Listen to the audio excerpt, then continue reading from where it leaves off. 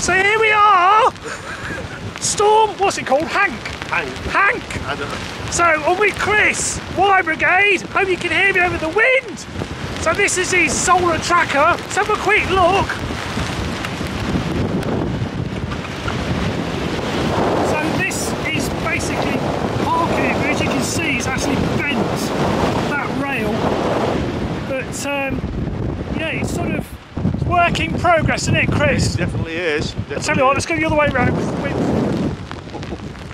So it's work in progress, Chris. It is definitely.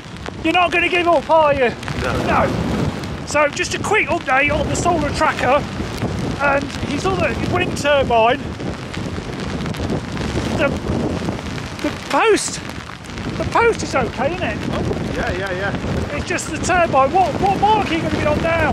Seven. Mark seven. So we're back inside Chris's workshop. So what's happened to this turbine? What which turbine is this, Chris? This is a Marlec uh, Terrain 1200, 500 watt turbine. Yeah. Uh, we put it up on the last storm, whatever it was. About three, four weeks ago. Yeah. Yeah. The one we were getting peaks of 95 miles per hour. Right. And bear in mind, this is sort of six meters up in the air. Yeah. and it, these obviously blades flex, but they Yeah. flex that much that they've actually hit the post Right. and they've took the tips off every single one of them. Yeah. Yeah. yeah. So, So it's survived. And what were you saying earlier about the salt air that you've discovered? yeah, the salt air affects the slip rings. Not so much on this one, but I'll have to show you on one of the other turbines. Yeah. But uh, certainly the gusts are killing these turbines. The gusts are killing the turbines. Um, yeah, but it's, it's so it's not. So a lot of these are rated for a certain mile per hour, aren't they? Yes. Which But is normally around about, most of them say 40 metres per second.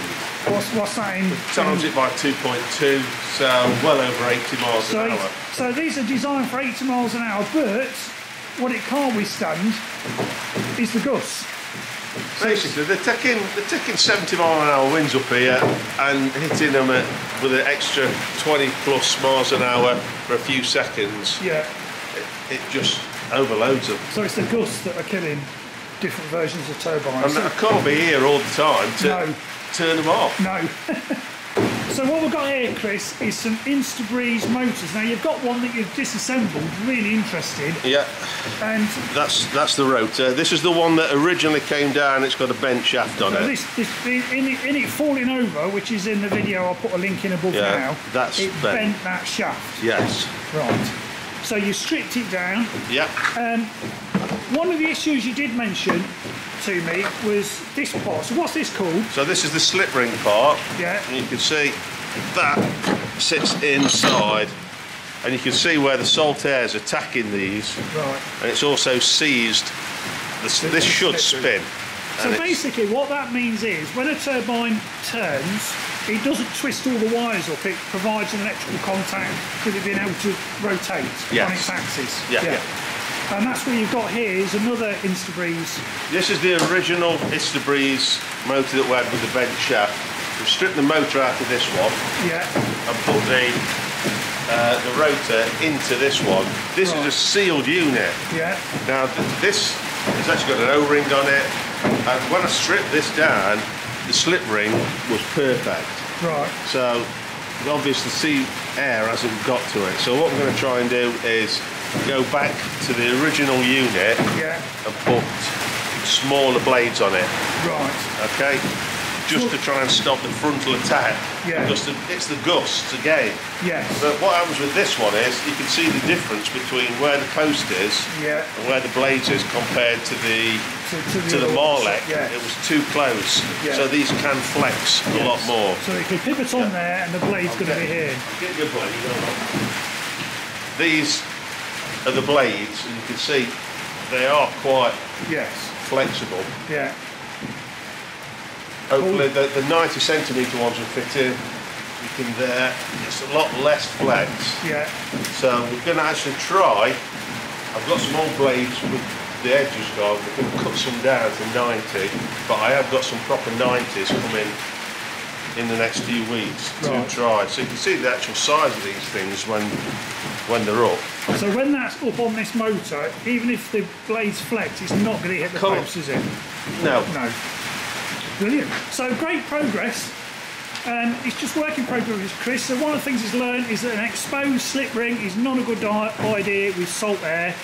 So an enclosed unit just makes more sense. You stripped this down and that was perfect, wasn't it? yeah, yeah, yeah. Yeah, yeah. excellent. So this is Chris's uh, adaptation of various turbine bits Yes. that you tried last week, and it survived quite a few hours, didn't it, Yes, it did. before it uh, destructed itself? Did it take out your weather station as well? Yes, it did. Yeah, I'm a bit gutted about that. Yeah. Really. But the thing is with Chris, you won't be defeated, will you, mate? I'll try not to. No. Head's not gone down yet. So, hats off to Chris. I'm going to put some footage in just to show the sort of uh, foundation he put in the Mark 7 turbine. So he changed the turbine, the base, the foundation from the, the first video that I did with Chris.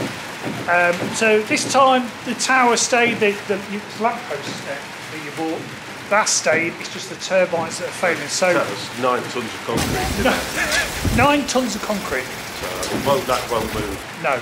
Um, so hats off to Chris.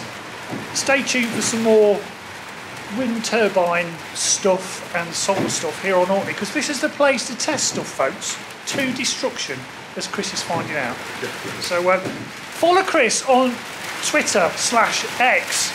It's at Wire Brigade, and you'll get up to date bits of footage of turbines and solar trackers either surviving or not. But it's all good content it's interesting.